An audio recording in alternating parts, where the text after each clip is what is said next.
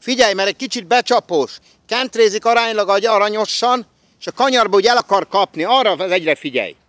És csak a kis homoktól egy gyűberke. Nagy homokon megyünk, trappolunk fönn. Igen, és arra figyelj, el akar kapni, aztán leteszel, utána szépen el lesz, de lehet, hogy amúgy is el lesz, jó? Azért figyelj oda, ügyesen Gáborkám. Nagy homok két kentre, és kényelmesen, csak a kicsitől, majd itt egy pindurka dekával, több, de csak egy dekával. Várjak, várjak, nem? Mert? Jönnek. Aha, aha. Pont ilyenkor, jaja, így most már igen. Jobb a béke. Figyelj oda, el ne pördüljön, régen voltak ilyen dolgai. Mehet, nem akar bemenni, meg egyebek, elpördült. Oké. Okay. Mehettek, Gabi.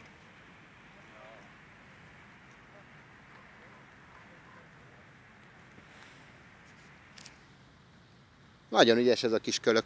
Zoli, már most fog meg. Hát meg kell mondjam, utolsó lovacskánk beérkezett Scarpino. Még a túlsó oldalon jár.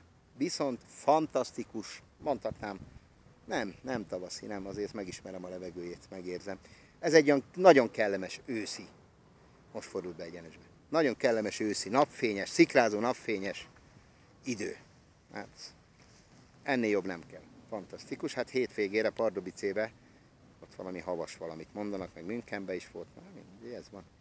Felöltözünk, készülünk, de most remek, csodálatos színek, hát élve lehet itt lenni, most már fél egy van, de utolsó lovacskánkat megvárom, de nagyon jó itt lenni különben. Egy kávét azért benyomtam már gyorsan. Ügyes Gáborunk érkezik, hát nagyon egy szimpatikus srác, ma látom igazából így közelről először. Ügyesen lovagolgat, szereti a lovat látni, hogy otthon van ebbe a szakmába. Tetszik, hogy a lovakkal van. Le a kalappal.